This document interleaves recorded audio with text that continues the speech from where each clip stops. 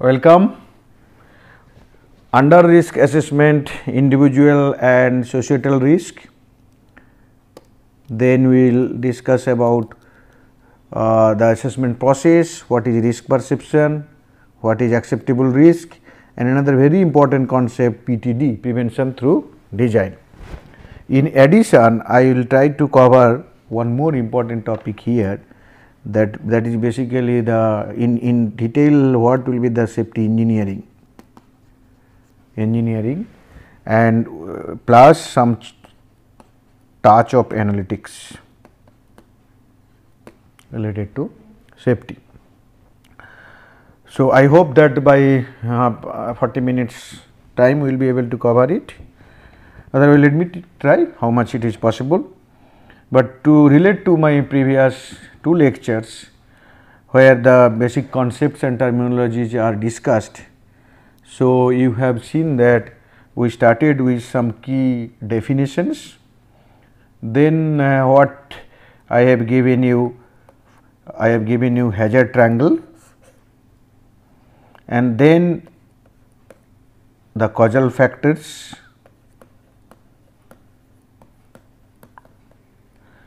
three levels causal factors. One is at the hazard level then the level 2 where the system component and again at the level 3 the further breaking down into the failure modes um, failure mode this level.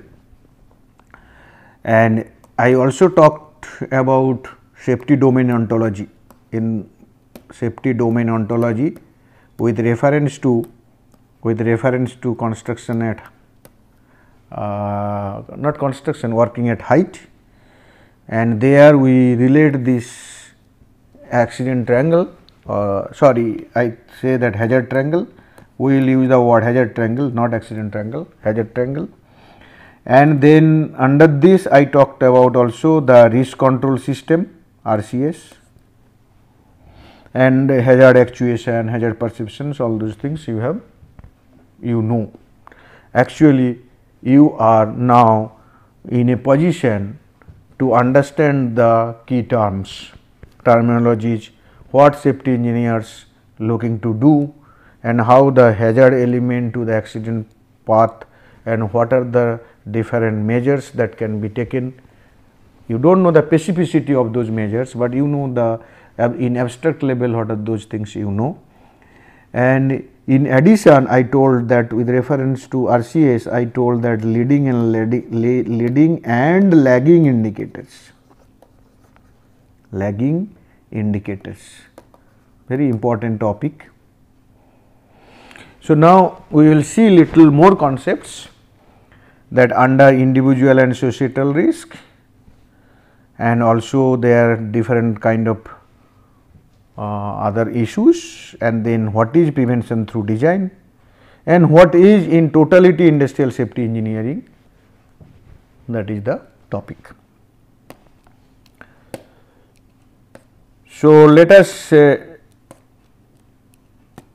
see what is individual risk. Okay. What is individual risk IR? We will go by the definition of IChemE. A formal definition of individual risk is the frequency with which an individual within a specific group or population may be expected to sustain a given level of harm from the realization of specific hazards or particular combination of hazards. Okay. So, do you know what is risk? Yes, by definition you know that risk is the quantification of hazard potential. So, what is the harm that the hazard contains and if the target is exposed to that harm, the, the that is what is the risk level for that target. By individual risk we talk about target specific risk. For sake of simplicity, we will say that suppose people, people or human is the target. In that case, a person working for a particular job what is the amount of risk he is exposed to. That is what is individual risk. An individual within a specific group or population may be expected to certain level of harm. So, R risk equal to probability time consequence. Probability means suppose let person working at height, person working at height. So, let us consider that working at height is the hazard element. What way he will meet an accident, fall from height, fall from height is the accident. So, he can meet fall from height accident or because of system failures, system level failures mean suppose the, the, the, the, the platform which is carrying that person it may be deteriorated or he might have not used the safety belt other things which are required to be used at, at that place particularly. So, all those initiative mechanism will lead to fall from height.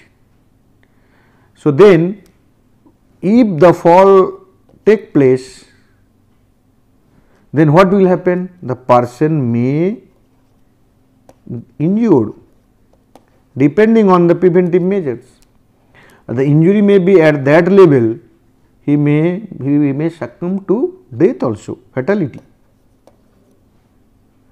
so pro probability of fall from height times if we consider that we are interested in fatality risk times the probability of fatality consequence or or simple consequence value this will give you the risk value. A welding person is doing some kind of a, a welding in the machine shop he is also subjected to some kind of risk okay so, there can be electrocution. So, what is the probability that he will be get into touch of electricity and then what will happen that two combination will give you individual risk. This is related to people. So, Suppose eh, hypothetically you consider that in your plant there are A, B, C, D, E, F, I, G 1, 2, 3, 4, 5, 6, 7, 8, 9, 10 different locations people are exposed to. People are exposed to different locations. Suppose I draw the location chart here and I am drawing also like this. So, like this. Okay may be this. So, in this way A to suppose this one is my j 10 different locations are there. Someone working here, someone working here, other person working here, are they exposed to same amount of risk? No. It all depends on many other factors. What amount of risk is exposed to depend on the what hazard elements how the hazard element will be ultimately through different initiating mechanisms will lead to what kind of accidents and then then probability of that accident and if that accident what will happen to him whether there is a case of near miss or there is a case of LTI or there is a case of fatality or there is a case of serious injury. So, all those things ultimately may be different from different places. So, as a result job wise also there will be difference. So, that is what we are talking under individual risk. So, as a result suppose person working at A, B location or J location they are not exposed to same amount of risk these two high risk compared to others. These two and these two another group. This also another group, but can be same. So, we can say cluster risk cluster 1, risk cluster 2 and this is risk cluster 2 3. If I replace region by job then I say the job group A and B having same level of risk, then C, D, E, F, G, H having same level of risk and I, J same level of risk. Now, you may be worried about that what is this IR that is the individual risk, how do I quantify all these things. For the time being I told you that this IR is P cross C probability. Now, if I say it is job then you have to at this for eighth job what are the different hazard elements he may be exposed to different hazard elements there can be multiple paths for initiating mechanisms different paths for initiating mechanisms. And finally are different consequences also at this path one level at this another three different all those all those this occurring of this the probability that path probability of this path probability of this path probability of this path probability of this path all those path ultimately will give you this IR and there will be sum total. So, need not be that for a particular job or a particular locations that there will be equal number of paths it is not. It is the safety engineer who, who is designing this job or the designing this facility for people to work they must understand much before what it is and accordingly take action. Okay, so, those issues will be discussed little later. For the time being individualist means an individual exposed what amount of risk. Suppose I am working here at any point in time I may I I ha, I, ha, I am exposed to risk at any point in time I may have some face some consequences. So, that is what is individual risk. Okay. So, but individual risk is not the only thing that the safety engineer should look into. The societal risk is another very very important one because societal risk is more problematic one. So, okay, whatever may be, let us first you understand what is societal risk here. Societal risk is the frequency and number of frequency and number of people suffering a given level of harm from realization of a specific hazards.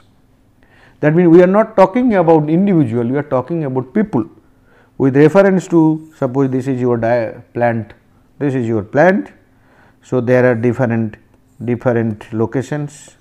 Here suppose 3 people working, here it be 10 people working, here may be your 25 people working.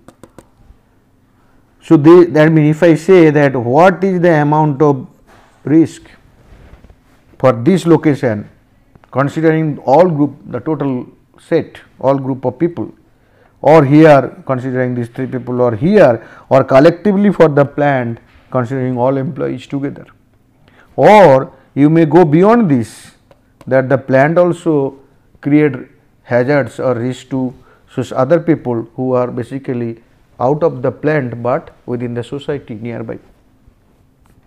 So, that is why the concept of societal risk, it is basically we are not talking about individual, we are talking about the group as a whole. For example, every day there is there is fatality in Indian roads. Now, when one people die in such conditions, and when there is a suppose train accident many people dies. So, this even though the number of maybe the number of uh, people died in train and rail is less than number of people die in on roads, but but the rail accident creates more um, awareness, more uh, more concern to people. So, that means there are situations where many people will will face the problem. So, if you are the plant in charge, you must know what are the what are the hazards that are specific to individual risk and what are the hazards that basically once occurs will create the uh, I can the societal the group of people will be affected. You must have this knowledge that is why this is important. It is not that uh, important because group of people will be affected or individually affected some kind of quantification risk because you must know the hazards which cause individual risk and which cause societal risk. There will be hazard which cause societal risk that may cause individual risk, it is quite likely. So, as a result when where society at large is more important than individual of course. So, we basically we basically create a curve called FN curve.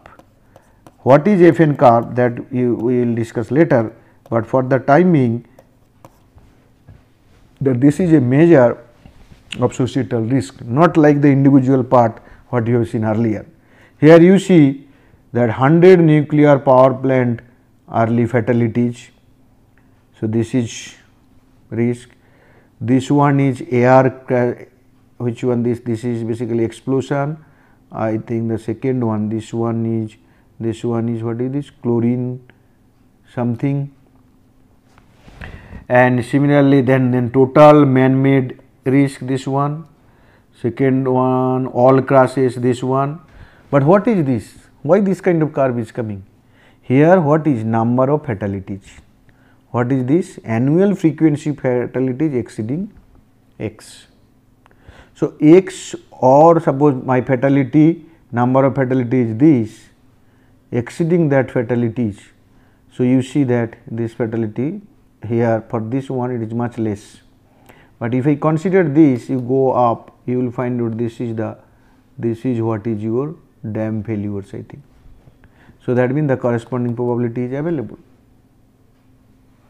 So, FN curve basically talks about that x or x or more failures what is the probability. You may be interested, you may find that if there are one fatality it may be fewer, but if there is 10 to the minus 3 fatalities it may be acceptable. So, then you understand what is the probability in my plant that my fatality number of fatalities x equal to 10 to the power minus 3 which may be acceptable by the community. Okay. So, we during risk quantification time we will discuss how to calculate FN curve and how to compute the individual risk and other things.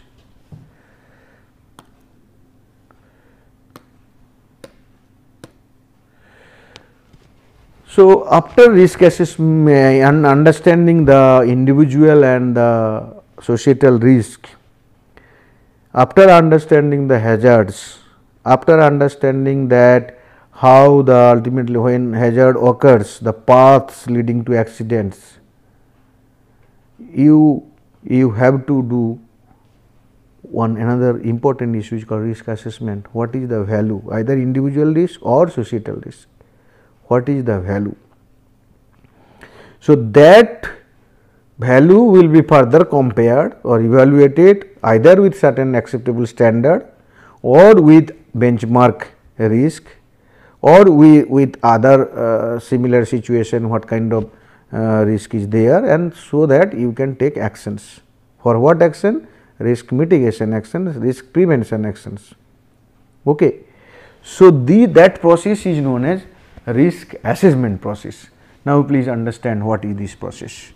In this process you see one is hazard identification, then this is basically risk quantification. You must know the probability or frequency and the impact that is basically likelihood here probability mean likelihood impact then evaluate the risk. So, R equal to if this side give P, this gives C, R equal to P cross C and there will be absolute risk, major risk contributor comparison with other risk as I told you. This one will be compared and you will get like this. So, there are this particular process one side is qualitative another side is quantitative. If you go by qualitative risk assessment, you will get qualitative rank, qualitative ranking. When you go for quantitative, you will be you will get quantified benefits. Okay. So, that means the what is the process of risk assessment? You have to first identify hazard, then that hazard how it contribute, contribute to accident, then there will be model of causes which gives you the probability there will be model of effects which gives you the impact or consequences and then these two multiplied gives you the risk and finally this risk will be used for different purposes. Later on I will show you that risk prioritization, the how Pareto chart will be used for risk um, prioritization. Okay. But anyhow risk assessment is important step, but at the same time please understand it is both qualitative as well as quantitative in nature. Suppose for industry people may be interested in qualitative ranking, but the the fresh engineers, the student they may, may be more interested in quantitative assessment. Okay. So, we will see later on, but for the time being you understand there is a process called risk assessment. Its primary purpose is identification of hazards and how it leads to the different kind of accidents and then there will be there will be some model of causes and there will be some model to find out the effects. The cause and effect will be multiplied and then you will get risk. Once you have the risk for different hazards, there will be prioritization and there will be comparison that is what is known as risk evaluation and you can do it qualitatively as well as quantitatively. Quantitative one is better, but it is it is as it is costly or time time consuming. So, for all large plant or all industrial perspective initially qualitative risk is done. And then for safety critical events or safety critical uh, subsystems uh, that you can go for quantitative risk assessment. Not for all. When you when, when you develop risk okay. So i can say when you basically either qualitatively or quantitatively you know the risk then then what happened? You rank it. So so here some points are given some activity and agents are given. Motor vehicle, smoking, alcohol to nuclear power. And you are a risk analyst. So, what you are seeing? That motor vehicle primarily accident on roads. And nuclear power which is important one another one. So, these two what are the what is the place this one I have eroded from this Slovic et al. So, that means motor vehicle risk is 1, rank is 1, high, highest level, nuclear power 20th. Suppose you are not a risk analyst, non-risk analyst. What you will see? You will tell nuclear power is more risky compared to many others. So, the ranking you see it is the 20th to 1 first rank what is this? This is perception. Okay. So, you cannot ignore this important, this is a psychological issue. You cannot ignore this. So, that is why when you come you identify the hazards leading to societal risk there what will happen? This gamma parameter plays a significant role because what happened in nuclear power accident not only a national phenomenon it is an international issue. Similarly, you are a very good you, you, you are, your industry is extremely popular industry lot of people like your industry because it is a, it's a brand one accident may lead to loss of reputation.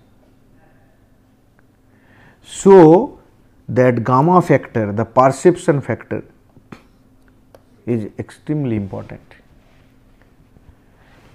On road to the best of my knowledge every year in India there will be 1 lakh 30 thousand fatalities that is what is happening on road of India. Okay, if you consider 130 crores people that is a different ball game altogether maybe per per million maybe one fatalities. But please understand understand the amount of fatality is so high. We tolerate this. Okay but we will not tolerate maybe a bridge failure killing 10 people. So, this concept is so important, this is important for decision making. Okay. Another important concept LRP. Okay. What is LRP? LRP is as low as reasonably possible or practicable. This is basically a guideline to understand the acceptable risk. There are three regions, region 1, region 2 and region 3. This is intolerable region.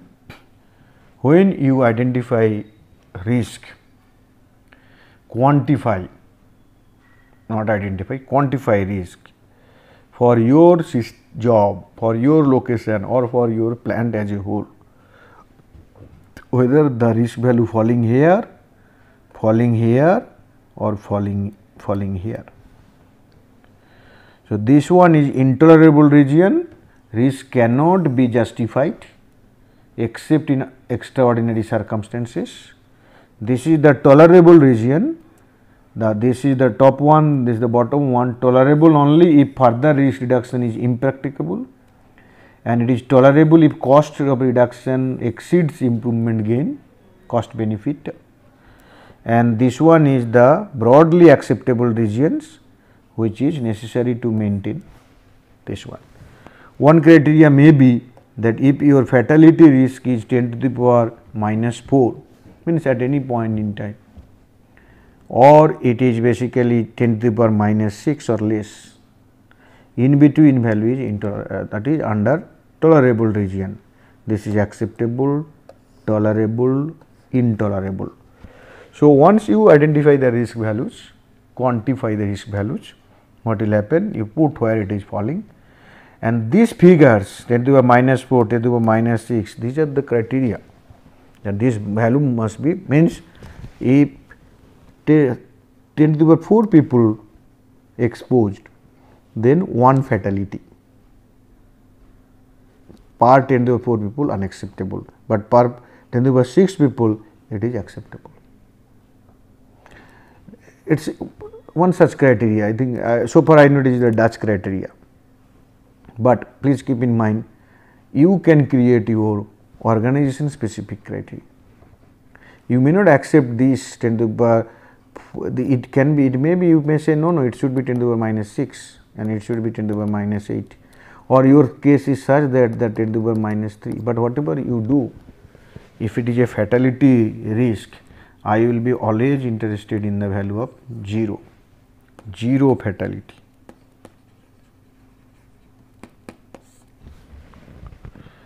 So that you create you identify all hazards find out their risk values, then totally you create the alert matrix for this.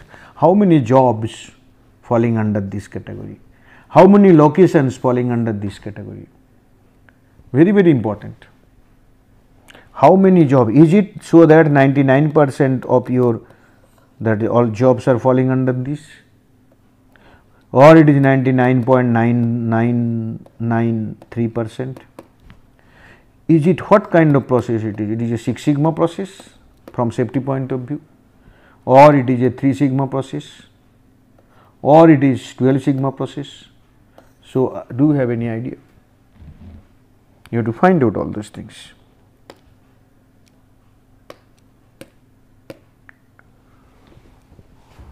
I, I told you many things.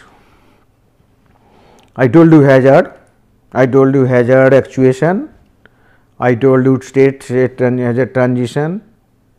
What more I not? I told you the causal factors. I to, told you safety domain ontology to know the accident paths.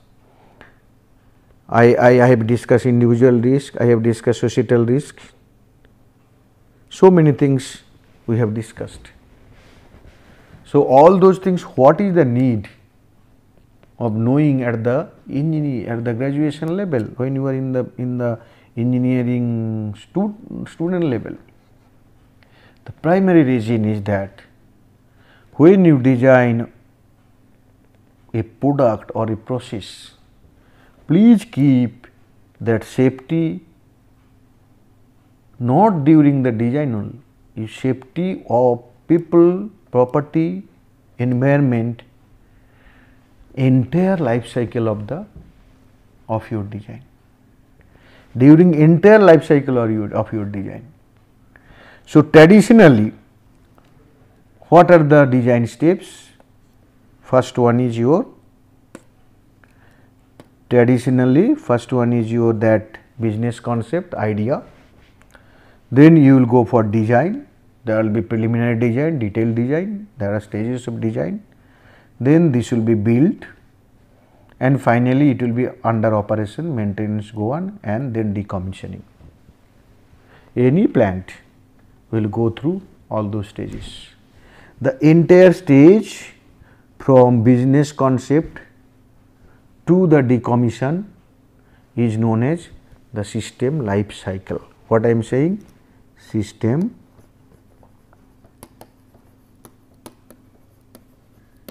life cycle system SLC system life cycle. So, you must understand as a designer safety engineer what are the hazards that may occur during operation and maintenance, during decomposition, decommissioning, during build, erection, all those things must understand and during design all those hazards will be properly addressed. This concept is known as prevention through design. The prevention through design concept, whatever you do in the before design, during design, that that ultimately not only helps you that ease of implementation, but also your cost of intervention, cost of intervention, this is basically ease of implementation, this is the cost of intervention, cost that is ease of intervention. So, your your safety for the people at work, for the property, for the environment as a whole will be much better if you think all those things much before put into operation. So, you whatever you do within this design these are prevention through design. Otherwise redesign or retrofit. And moving safety prevention to the upstream of life cycle that is the work of safety engineer. This subject is important because of this. Not because that uh, during operation some accident has taken place and you want to uh, analyze it and then say okay this has happened will it will not happen. That is that is the last resort you why you have not understood it during design you have to understand it if you cannot understand then you cannot design for it and unfortunately we do not have any such training in the undergraduate level how many colleges included that safety engineering as a important subject of their basic engineering structure? I am sorry, I do not know. So, this is very important. So, prevention through design. During design, you understand all hazards, you understand what are the initiating mechanism that may take place, you understand who are going to be affected and what is the amount of effect. That means, you must know what are the different accidents that take place. You must know that what are the risk barrier, risk prevention measures, risk control system will be in place. So, that ultimately accident will be prevented. Mitigation is also required, prevention may not be successful all the time because there is a probability concept, okay. but we want 0 accident. Our concept also should be 0 accident. Now, in under industry 4.0, industry 4.0, hmm, 0 accident, this is very very important. So, what are you doing? Are you thinking that okay, one day accident will take place? देखा जाएगा So you should not you should not wait for accident to happen. You must do prevention through design. The this particular subject will help you in understanding the hazards, hazard actuation, different techniques for hazard identification, risk quantification, blueprint for prevention and all those things together with qualitative and quantitative methodologies techniques. Okay? So this is what is the concept. I will i will end this lecture now the concept part. Just i want to tell you what are the take homes for you. One is from concept point of view. You understand the basic terms. What are the basic terms? One is hazard, second one is accident or mishap, third one is risk, minimum basic terms hazard, accident and risk. You have understood hazard triangle with hazard element, initiating mechanisms and target and threat. You now know that the hazard triangle will give you accident paths through safety domain ontology.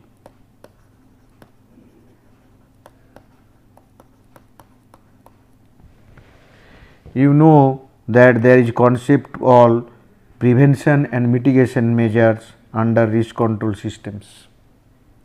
There are many risk control systems starting from maybe maintenance, inspection and maintenance, plant design, competency of work, all those things.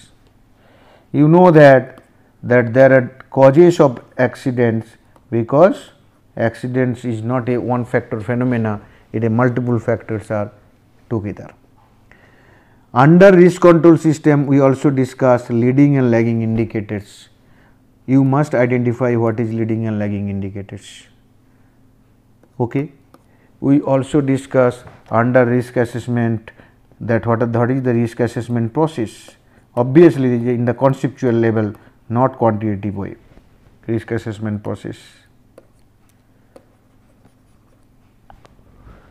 Then I talk under risk assessment individual risk, then societal risk and risk perception, risk perception. We are also inter, uh, interested to know that whether do all those things we will be doing when it is needed. No, you must know what is the life cycle of a system. And all those things that hazards how it will happen ultimately all those things you must understand in the prevention through design stage which is basically under under design build during build during erection during installation then or during operation and maintenance during decommissioning or other way I can say disposal every activities must be thought of in the design stage. And and the total risk in the risk life cycle of a system must be understood and prevention or mit and mitigation must be put into perspective through safety protection measures different safety protection measures the early you do the better is the result. The reason it will be easy for implementation, it will cost will be less. So, safety engineering under prevention through design is understand everything at the design stage, incorporate all protective possible protective measures at the design stage, so that people at large when they are at the workplace they will not get into they will not meet into any accident. Thank you very much.